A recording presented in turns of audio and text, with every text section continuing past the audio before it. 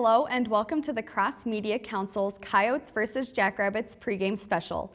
We'll be hearing from USD coaches, players, and sports reporters about the upcoming Missouri Valley Football Conference game. We'll discuss what's made the difference between last season and this year, expectations for Saturday's game hosting SDSU, and how the in-state rivalry is changing. To start us off, we welcome USD head coach Joe Glenn and offensive coordinator Wesley Beschorner. Thanks so much for joining me. Thank you, Cassie. Coach Glenn, this is your second season as head coach for USD. Last year, the team won only one game, and this year you far exceeded that with four wins so far. Where have you seen the most improvement with the team? I just think familiarity. Uh, we've learned, uh, they've learned what we want, and um, the coaches have stayed together. Um, we've improved our talent level. We've moved some different people around a little bit, and I think we've kind of hit the right tone uh, with our kids and got the right checkers and the right squares and the round pegs and the round holes, and um, all of a sudden things are working pretty well. One of those changes has been uh, a new starting quarterback. So, Coach Beschorner, uh, Josh Vander Maten started at quarterback the past couple of seasons, and then earlier this season you made the switch to Kevin Earl. Uh, how big of a difference do you think that change has made with the team? Well, I think it was uh, a great change because Josh handled it so well. Um, you know, he was a team captain, two-year, two-time team captain um, as a sophomore and as a junior. So for him to come in and say, "Hey, I'll do whatever I can to help this football team," I think took a load off of a lot of other people. Um, and then Kevin came in and got all the reps. And when you see him get all the reps, uh, he can kind of flourish. And he's getting better. You get more comfortable in the situations that you're in um, by just going through practice every single day at that spot. And I think just having that guiding light for Josh or for Kevin, Josh being his guiding light, I think has been a lot of help for, for the whole team as, as a whole. Last year, the Jacks hosted USD and beat the Coyotes 31 to 8. Um, what did you learn from last year's game that's been helping you prepare for this season, Coach Glenn? I, you know what, last year was last year. We really don't look back at that as a, a, a marking point. Uh, we looked at this season going forward with our team and where how much better we've gotten through this season to this. And um, we're very confident that we can take the field and improve on that 38 to 1 or 31 to 8 score. Um, we're a much improved football team, and uh, I think we're at home. Uh, last year, I think we only played four games at home. Uh, we are now, this will be our sixth home game. So uh, we'll see how it goes, but I know one thing our, our team is ready to go. Uh, we're playing hard. Uh, if we can get healthy, this is going to be a terrific game. Zach Zenner is SDSU's strongest running back. He averages about 140 yards a game. How have how is the defense prepared to stop him? Well, you have to hit your gaps. I think everybody on defense, football might be a game where everybody thinks you just run to the ball and tackle the guy. It's really not true. Every guy that lines up on defense has a gap to fill. Not just the guys on the line, but the second guys behind them, the linebackers, and then even uh, the safeties and corners have a gap to fill a lot of times. So when you want to really shut down a runner like Zenner, uh, the linemen have to hit their gaps and fill it hard. Then the second wave, our three, four linebackers, they got to hit their gaps. And then a safety or two has to fill their gaps. And if everybody will get in their gap and hit it hard and be awake and be ready to play some football, he won't get 130 yards on us.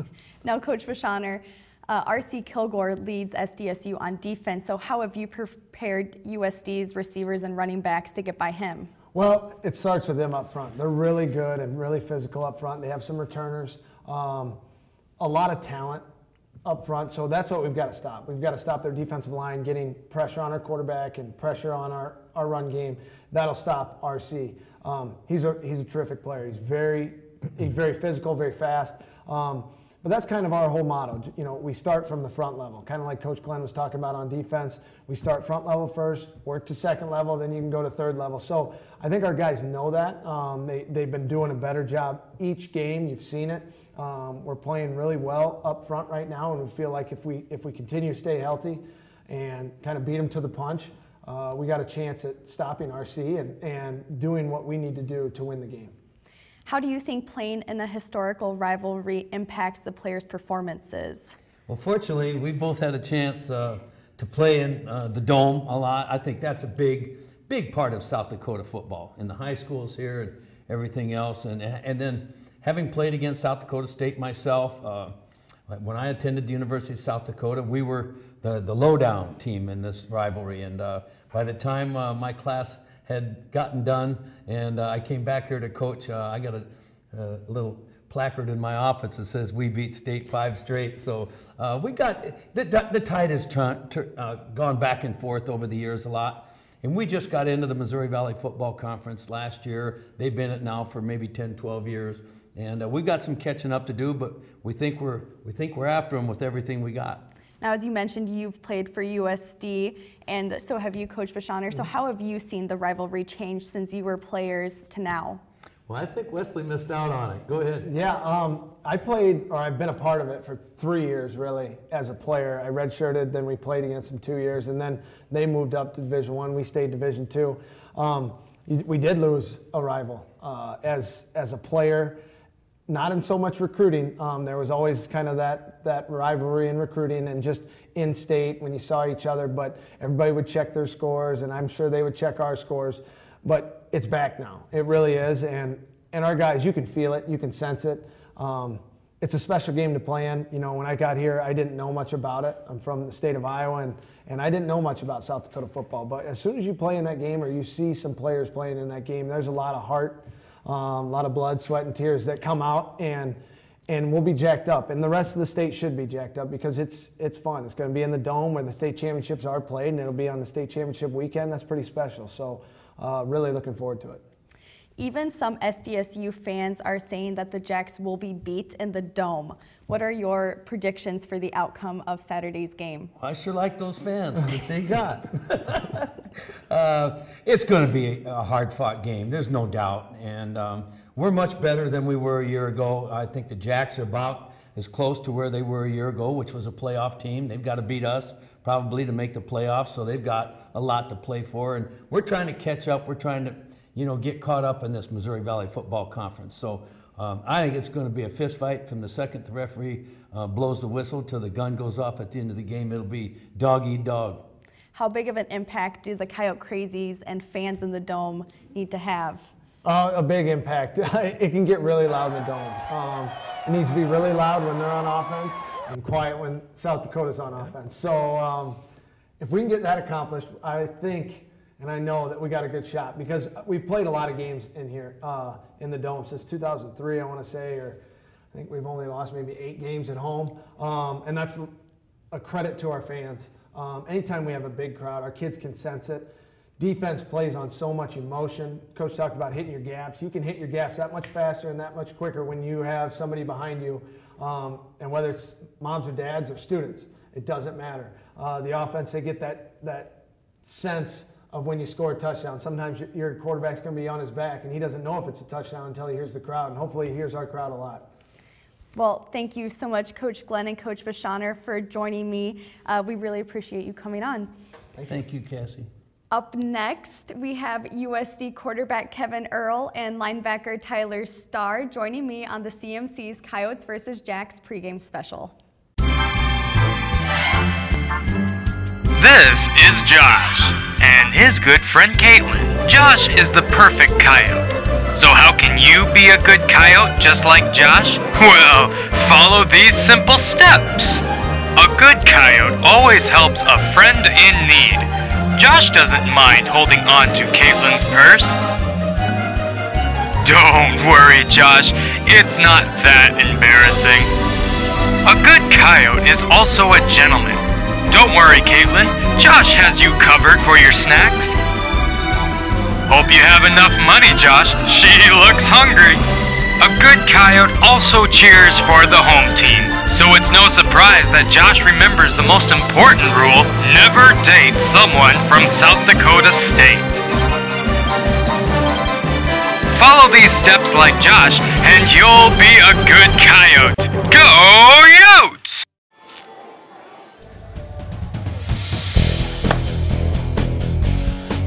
Yotes! awesome because it's challenging, both mentally and physically.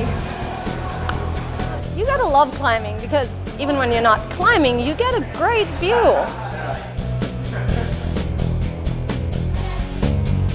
Climbing's great because I feel like Spider-Man.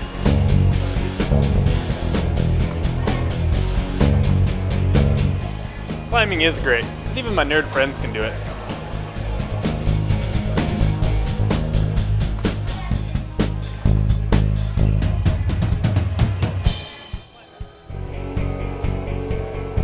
Climbing's awesome because there's always someone who has your back. Come to the rock wall and figure out why climbing's awesome for you.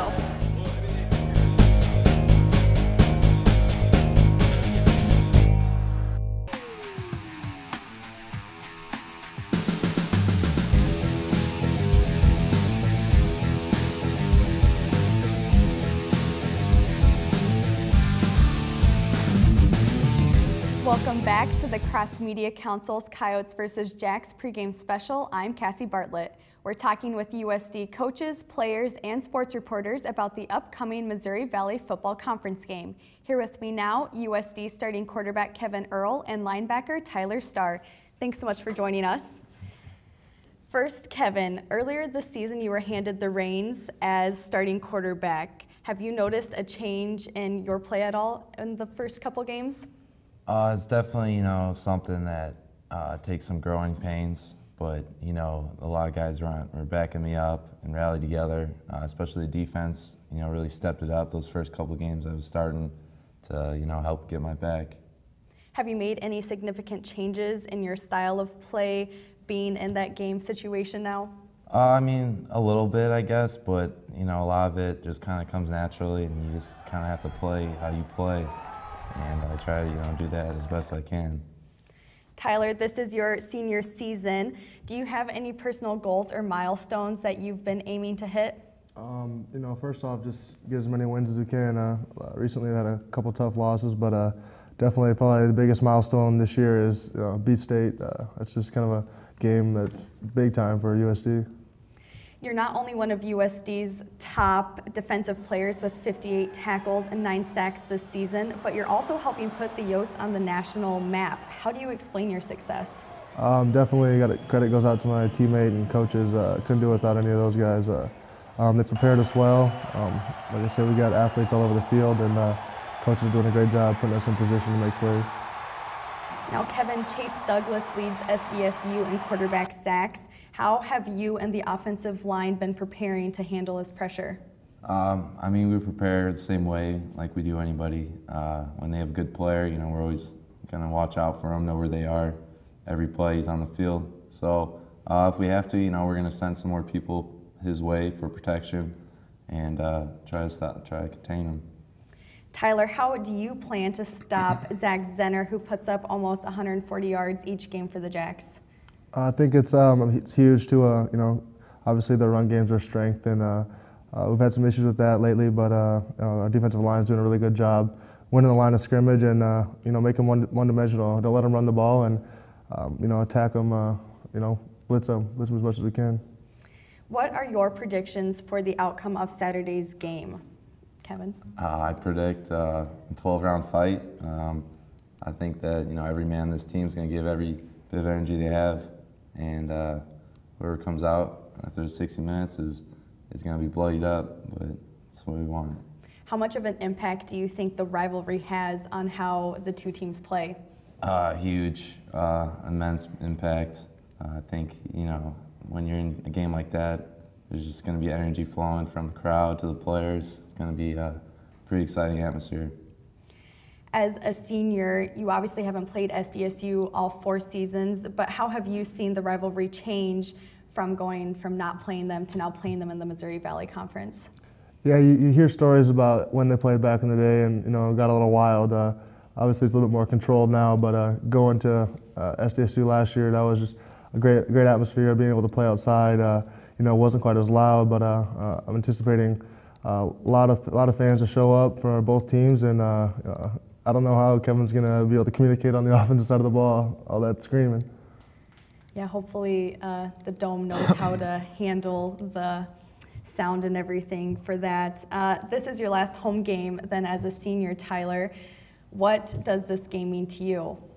Um, it's uh, always, you know, being able to finish your season, especially your senior season, in the Dome uh, with a win, and no better way to do it than uh, being able to beat state. I mean, that's obviously would be huge just for this community, this school, and for me, obviously, personal goal. Do you have any favorite memories or one aspect of the team that you are going to miss the most next year?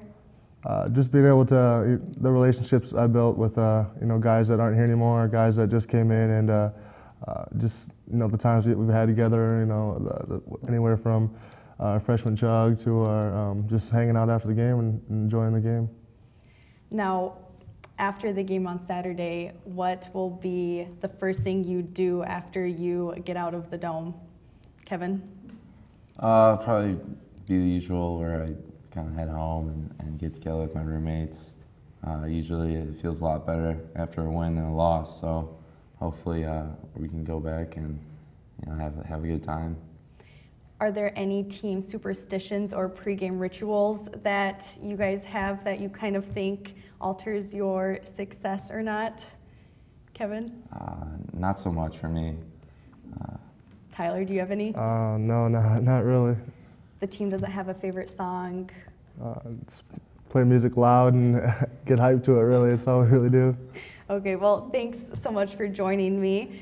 That was USD quarterback Kevin Earl and linebacker Tyler Starr. Coming up, Volante sports editor Grant Bosiacki and Coyote Radio sports commentator Nathan Puhl. Stay tuned.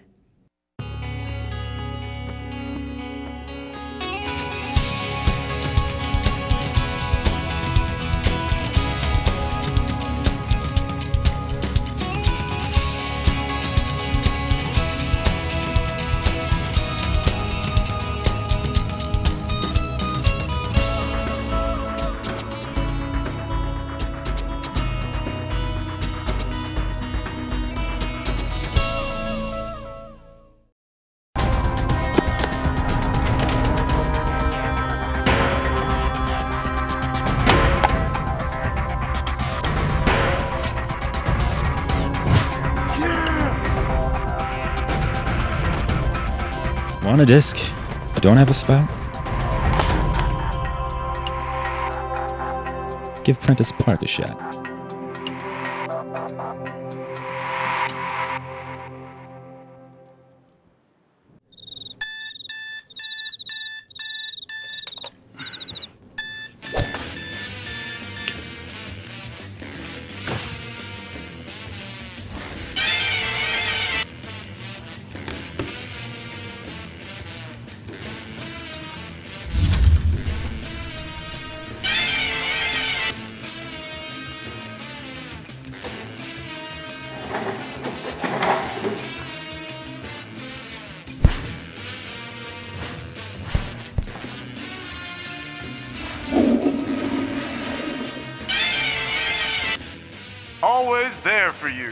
Coyote News, Wednesday, live at 5.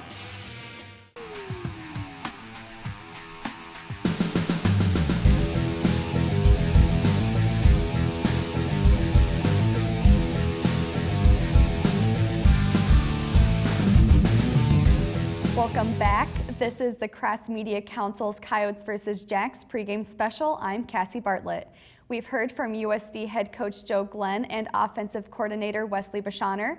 We've also heard from two of the team's leaders, quarterback Kevin Earl and linebacker Tyler Starr. Now joining me are two sports reporters, Grant Bosiacki with the Volante and Nathan Puhl with Coyote Radio. Thanks for joining me. Yeah, glad Thank you, Cassie. Thank you. Grant, the Coyotes have won four games after only winning one last season. From a reporter's standpoint, how have the Coyotes looked to you this year? They've shown a lot of improvement. It's been fun to watch. Um, the continuity is clearly there. Coach uh, Coach Glenn has got everyone believing that you know they can win. Last year there was a lot, a lot of close losses. This year there's been some more close losses, but you know? The quarterback change, how we've gone to Earl, has been big for us, and the defense is playing a lot better. So they just it looks like they believe more on, on offense and defense. So they're they're buying into his system, and it's good, it's fun to watch. Nathan, what do you think has been the Yotes' biggest improvement this year? Well, you look at it, and it seems like the offense is finally clicking on all cylinders. Uh, we tried out with Josh Vander Maten earlier in the year, and it just seemed like it didn't go anywhere. But then when you have Kevin Earl in there, who's a true pocket passer and can dissect the defense a lot better, uh, he's he's really improved every single week. uh, and he's had flawless games. And uh, you also got to uh, point out that the defense has really improved from last year. The secondary is one of the best in the Missouri Valley, uh, and uh, Tyler Starr is playing up to a national level. He's uh, one sack away from uh, getting the record here at USD, and uh, it's it's it's just been a, it's been a good season so far. What do you think are the strongest parts of USD's game, Nathan? Well, you look. Uh, I'd probably have to say offense. Just looking like at last year, uh, we struggled on offense. Uh, third down um, was uh, very inefficient. Uh, but this year, uh, we've been moving the ball quite well, and with the help of two freshman running backs who are really the same type of style that they play with the running game. They're big, built, built guys that can hit the hole pretty hard and actually can shed off tackles and make defenders miss. Uh, and I really think the offense has improved um, dramatically from last season. The Coyotes seem to be putting up more points this season than they did last year. Do you think that's because of the quarterback change, or is there another area, Grant, that you think has also improved? Um, yeah, it's the season's kind of been a tale of two stories. At the beginning of the year, it was kind of you know the same old, where we couldn't really score. We were having trouble scoring, and the defense was really willing us to victory. And now all of a sudden it's kind of the opposite. The offense is kind of carrying us. The defense is having a little bit of trouble, but uh, yeah, the, the quarterback change has been big ever since Glenn, um, excuse me, Earl took over. We've been a lot better on offense. He's, you know, putting up big numbers through the air, and the the two-headed monster that Nathan was talking about, the running back game, it's looking good. I mean, they were they were dinged up last week, so I'm hoping they're uh, healthy and kind of an X factor on offense recently has been Riley Donovan at receiver. He's come from nowhere and he's been making big plays after big plays. Is there one area USD is weakened that you think SDSU will try and take advantage of on Saturday? Um, the uh, the offensive line has picked up some penalties recently, some holdings, some false starts, and I know Coach Glenn gets after them on that. He they need to get better at that. And, uh, you know, South Dakota State has a good defensive line, so offensively, the offensive line for USD is going to have to be top notch. We've obviously been talking a lot about the quarterback change. So, playing in a big rivalry game, Nathan, what do you expect to see from Earl on Saturday since he is essentially a new quarterback for USD? Well, uh, I, expect the same that we've seen out of him the last two weeks. Uh, flawless game. He's really controlling the ball well, uh, giving it giving it to his receivers uh, really helps them uh, to get extra yards after the catch. Uh, and he's evading pressure when he needs to. He's really becoming mature in the pocket and also rolling out when he needs to, finding the open receiver, always keeping his eyes down the field.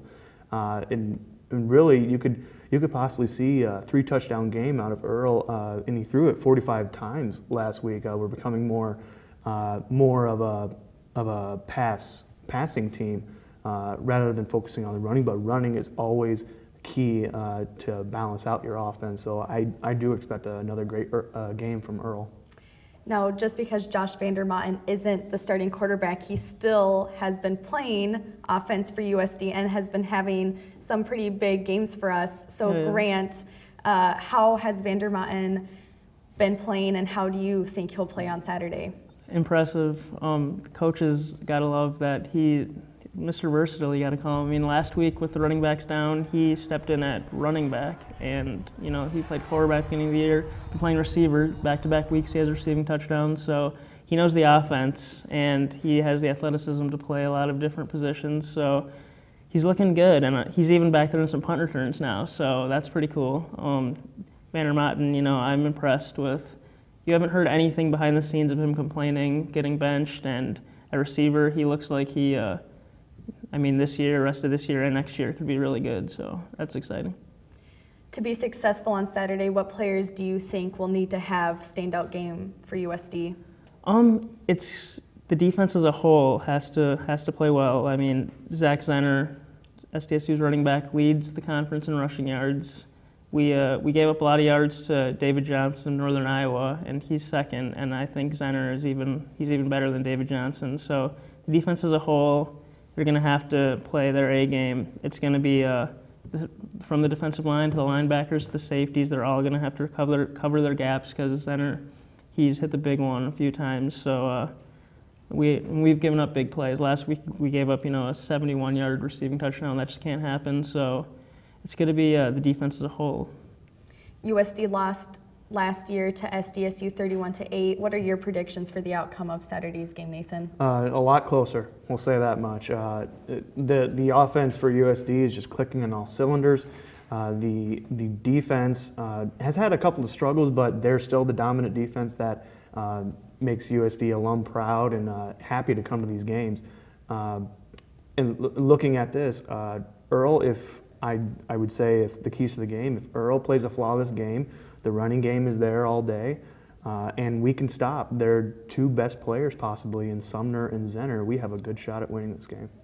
Both of you have covered USD athletics for a few years. Have you noticed a change in the rivalry, whether it's in the way the teams play when they face each other or the fan involvement when it comes to the games? Um, the rivalry is strong as ever. I mean, the important thing is it's back here at the Dome this year. So, um, you know, the, I think rest of campus, you hear from them, they're all excited. So it's uh, the players don't really admit it that, you know, it's a little bit bigger of a game, but everyone knows that it is a bigger game, and uh, having it back at the Dome is huge. Nathan, what do you think about the rivalry? Yeah, I think it's really uh, come back uh, between USD SDSU, hearing all the good things uh, about this rivalry, how competitive they are, uh, and being that it is in the Dome, uh, we're very good at the Dome. 44 and 10 since the start of the 2003 season. Uh, we are very dominant. We play a lot better in the dome, and uh, that's what makes this rivalry so great because both teams are coming in uh, with some hot streaks, some you know on the other side, but they are still two dominant teams uh, waiting to get the ball rolling. All right. Well, thanks so much, Nathan and Grant, for joining me. That's all for the Coyotes versus Jacks pregame special. You heard from coaches Joe Glenn and Wesley Beschorner, quarterback Kevin Earl and linebacker Tyler Starr, plus sports reporters Grant Bosiacki and Nathan Puhl. USD hosts SDSU and Missouri Valley Football Conference action on Saturday. The game starts at 1 o'clock in the Dakota Dome. Thanks so much for watching. For the Cross Media Council, I'm Cassie Bartlett.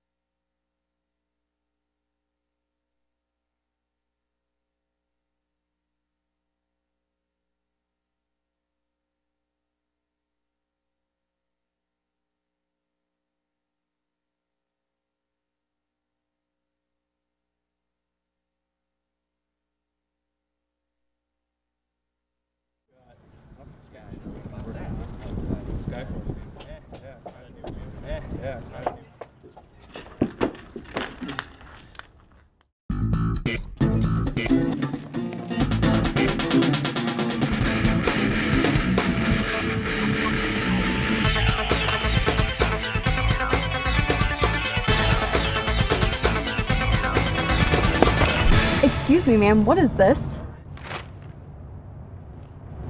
Obstacle course training. It's how we prepare our staff to get you the news first. Not bad. The Volante, first to the news, first to you. The student's voice for 125 years. This is Josh and his good friend Caitlin. Josh is the perfect coyote. So how can you be a good coyote just like Josh? Well, follow these simple steps. A good coyote always helps a friend in need. Josh doesn't mind holding on to Caitlin's purse. Don't worry, Josh. It's not that embarrassing. A good coyote is also a gentleman. Don't worry, Caitlin. Josh has you covered for your snacks. Hope you have enough money, Josh. She looks hungry. A good coyote also cheers for the home team. So it's no surprise that Josh remembers the most important rule never date someone from South Dakota State.